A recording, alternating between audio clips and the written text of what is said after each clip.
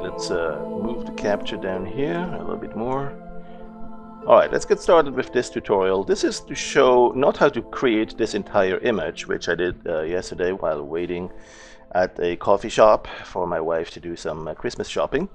Um, what I did is want to, what I do want to do is show you how to do that blue sky, that gradient sky. It's not actually done with the gradient, but uh, I will show a couple of different ways to do a sky that goes from dark blue to lighter blues to white, hazy, and perhaps sort of a darkish uh, horizon font at the bottom there.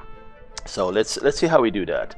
Uh, one of the first ways to do it is perhaps just to paint it. Right here's my image, and I'd like to have darker colors, darker blues at the top. So I'll pick a, a blue with the left button, and what I'll do is I'll right-click on my uh, brush tool, either here or from the menu, and I, I look for a brush that has a fairly large cover. There is actually one in the oils collection, the large, uh, where is it, cover, there, large cover click that and what you'll see is that it has random positions. As you're dragging it, it randomizes the position a little bit so it's it's not very precise and contained. It goes a little bit all over the place.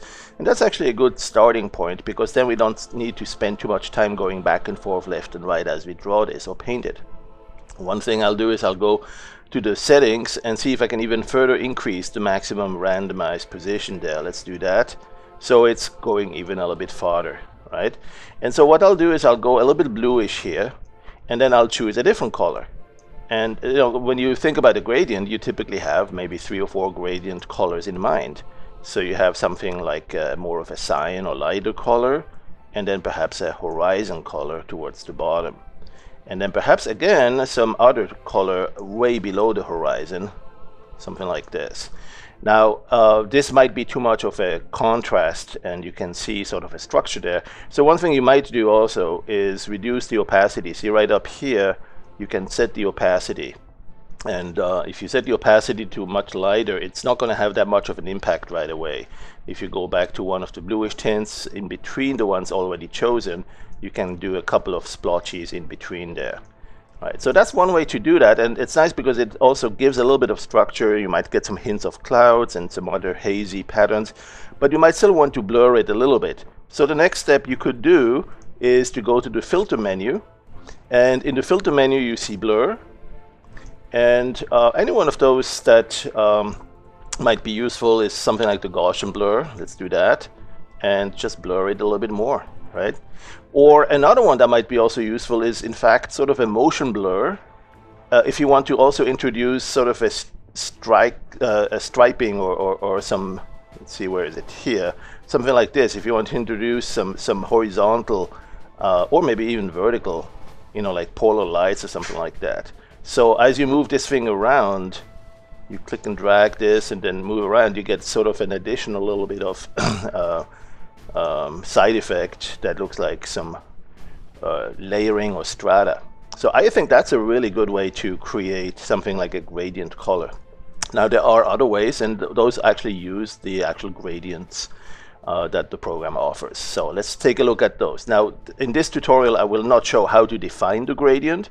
That's a different topic, right? It, there's two parts. One is to define the gradient, like what colors is it going through from blue to light to brown in the end that's defining the gradient and then you want to apply it that's the second step and so I will focus here now on just how to define how to how to excuse me how to uh, apply the gradient assuming you either have already created your own or you uh, are going to use one of the preset gradients.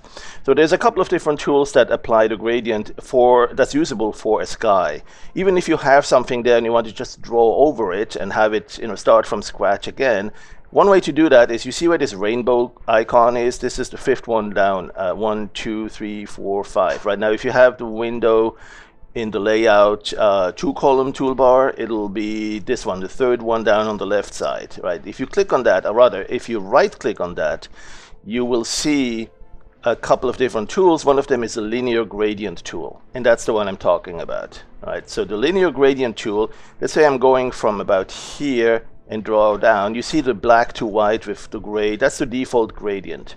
Let go, and that's it. You can go sideways in a diagonal. Okay, so that's nice too, because if you want to show something like a scene that's in orbit, um, you can you can have sort of the, the, Mother Earth down here on the right, lower right, and the the dark universe or space in the upper left.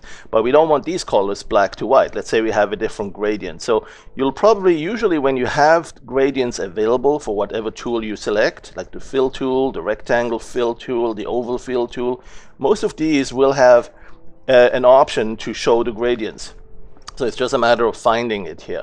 But that's not the only option you need to look for you need to also look for fill settings in some cases, right? So for instance, in that tool that I was using here, the linear gradient tool, that one doesn't need the fill settings. That one just needs the gradient. What gradient do you want to use? So we see it here. And that's one place where you can grab or have a look at the available gradients. And uh, we'll use one of those here. Let's use this one here. Maybe the one that goes from blue to white, right, through those different sky colors. And so we go from the top to the bottom. And you notice that if, if you don't go absolutely at the very top, but a little bit on the inside, and you go sideways, it, it beyond that, it's uh, it is uh, that last color or the first color of the gradient. It fills it, and then it applies the gradient, and then it stops and fills the rest with the the final color. So if you if you want to actually have uh, not only if you only want a portion of that gradient, instead of drawing this on the inside, what you could do is start on the outside. So it's not going actually all the way to the darkest blue. And you might also leave it alone down here and have some of it in, in white.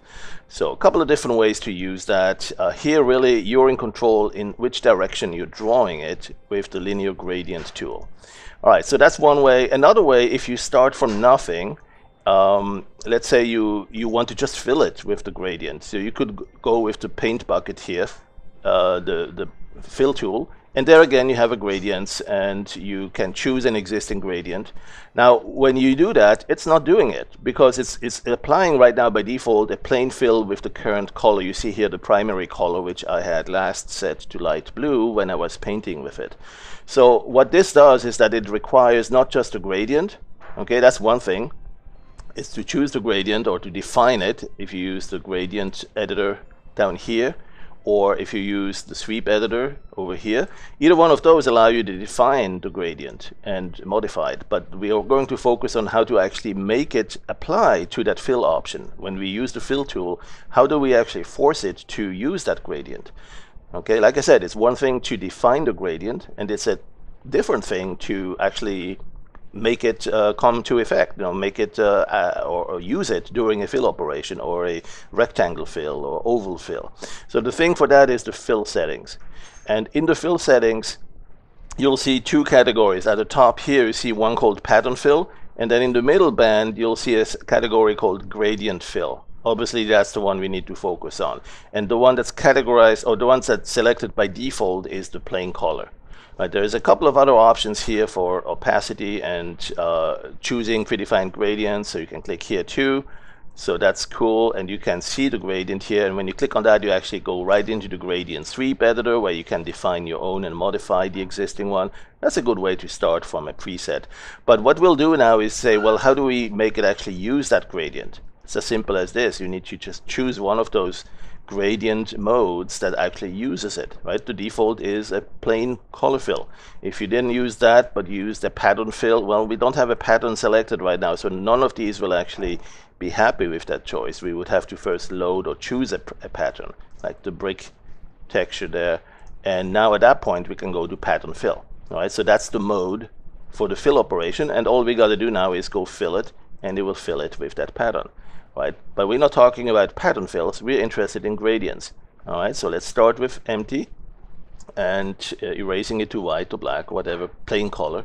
And select not the plain color, because that does just a fill at the current plain color with the left button, or the secondary color if you click with the right button, right? That's the white on the secondary color. All right, so what we want to do now is to apply the gradient. And there is a couple of different modes to choose from here. There's the the gradient horizontal, gradient vertical, circular, that one needs a second operation as you click, we'll see that, and then there's a few others. For what we're trying to do here with the, the sky colors going from top to the down, top to the bottom, we need to obviously use this one, the gradient vertical. And when you click here now, it's going to apply that gradient that we have currently selected, and just uh, make it go there. Now, if you do that again, it's going to show these bands, and that's because it's filling from what it currently has.